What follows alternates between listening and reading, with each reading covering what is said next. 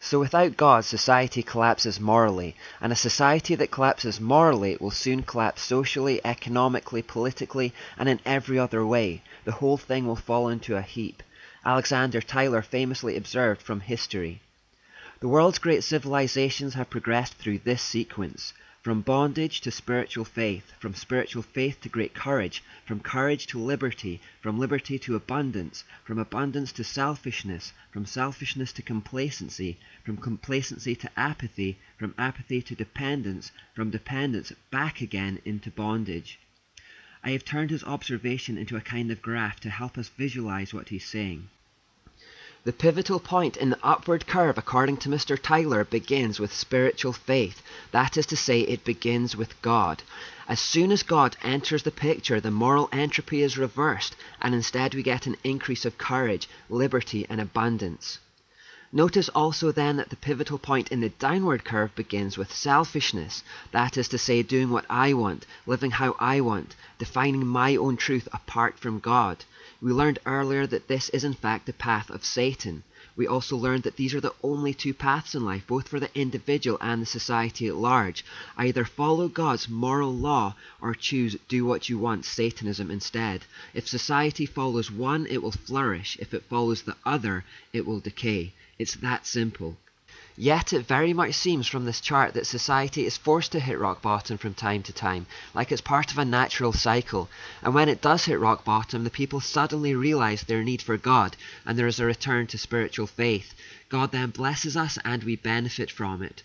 Then, having reached a position of plentiful abundance, we begin to forget the source of our blessing once more. We get comfortable and apathetic. We start to imagine in the deceitfulness of our hearts that we reached this peak by our own efforts, that we can now divorce God, abandon God, start to ignore and even hate Him, decide to go our own way instead, become self sufficient, selfish, and sinful. And at that point, the decline begins once more. All this tells us one very important fact that the key figure in a healthy society is God. So let's be absolutely clear about this. No politicians, governmental programs, educational policies, general elections, healthcare reforms, tax breaks, monetary investment, or law changes of any kind will fix our mounting social problems, at least not by themselves. As well intentioned as those things may be, the only cure that ever halts and reverses the moral entropy of the sinful nature and society as a whole is God. The solution isn't a program, it's a person. The upward curve begins with Him only, and Christians especially, I think we've lost sight of this. As this series is being recorded, it's an American election year, and social media outlets have been flooded with pledges of support for various candidates. And I'm talking fanatical support. I'm talking 20 Facebook posts a day support. Vote for this guy. This is the hero we need. He's going to put everything right. He's going to turn our country around. He's the only one in which we can trust. Now I can understand non-Christians being caught up in this fervour for a messianic human leader, but Christians, we should know better. We simply must get out of the habit of thinking that the next president or prime minister, or economic policy or tax cut or foreign policy will make everything right in the nation. In the run up to elections, it's so common to hear things like, vote for this guy because he'll pull our troops out of that war we're in, or I'm voting for this guy because he's going to reform the health system. In fact, I've recently seen people insisting that a president should be voted in simply based on his pledge to lower gas prices. Gas prices, really? This is our utmost concern? How could we have missed the point by so much? None of these issues will affect the overall trajectory of your country. None. Remember the first key point that we learned in this series was that you can't fix internal problems with external solutions. The problem for our nations is not fundamentally external issues like the economy or the tax system or the foreign policy or the health budget or some war. These problems are all just outworkings, mere symptoms of people who have become internally diseased, corrupt, greedy, cruel, and selfish by the godlessness of moral entropy. At the root of all our problems is self. Our healthcare systems are crippled because people are selfishly eating too much, drinking too much, smoking too much, fornicating too much, and not exercising enough. Our self restraint and discipline is broken down. We're hedonistically gorging ourselves to death. Our economy went down the toilet because of sheer greed. Poverty is perpetuated because of corruption and self interest. Wars start because we lust after the natural resources that other countries have. The products we buy are kept artificially expensive because of exploitative price fixing.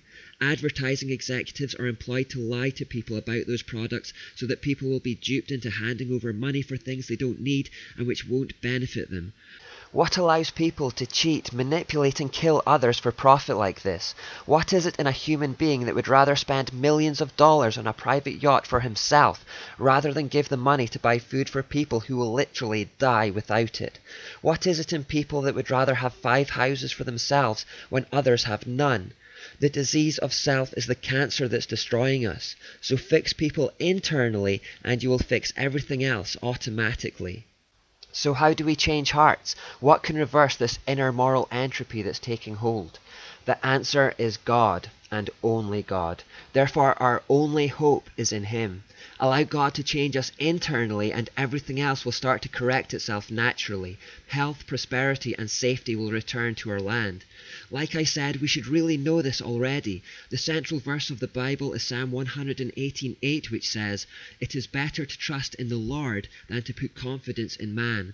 Psalm 146:3 says, Don't put your trust in powerful people, there is no help for you there. These verses are true. If you're distracted by the mudslinging politics of left and right and putting your trust in a human leader, then you're distracted from the only issue that really matters, and that is whether God has his rightful place in society. Give God his place and everything else will take care of itself automatically. But take God away and nothing any man ever does by himself will ever succeed. Now, who are the ones charged with giving people the Word of God? Who are the ones that Jesus charged with the Great Commission? The politicians? The civil servants? The judges? The school teachers? No, it's Jesus' followers. It's the church. It's us. So if we want change, we shouldn't be looking to the government to make it happen. We should be asking ourselves how we're going to make it happen. The church must be the driving force. We've become so used to blaming the government and depending on the government for all our hopes and dreams and solutions. That dependency will lead us to bondage. We need to step up to the plate on this one. If only we were as enthusiastic about spreading Jesus' name as some of us are about spreading a politician's name every four years. If only the people who flood Facebook with posts on human political candidates had the same fervour in spreading the gospel of Jesus Christ, then we might be getting somewhere. Have we not noticed yet that no matter how often the leadership of our country changes hands, things just keep getting worse? Every premiership begins with fanfare, hope and optimism that this is going to be the guy that will change things, and every premiership ends with the whole country desperate to get that same guy out and then this paves the way for another guy, normally from the opposing party, to come along claiming to be the one to really put things right, and the country works itself into a fervour again, claiming that this is the real Messiah. Over the years, the whole thing seesaws back and forth from one party to the other, repeating itself over and over, and all the while things continue to deteriorate. Don't put your trust in man, put your trust in God. Countries don't fail because a guy from the left is in office or because a guy from the right is in office. They fundamentally fail because of godlessness. Any man in office without God is going to fail. Any man with God is going to succeed. But above any of this, any country where the citizens have God in their hearts is going to experience safety, health, and prosperity, and any nation without God is going to suffer moral entropy, which leads to violence, sickness, and poverty. If our manipulated political systems and illusion of democracy doesn't put forth any candidates worth voting for, then work to change the system.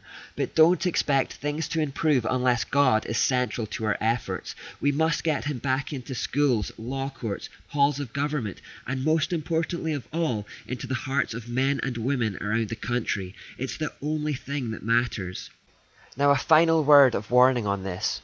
If you continually put your faith in a charismatic human leader to save the day, you may just one day find yourself hailing the Antichrist himself.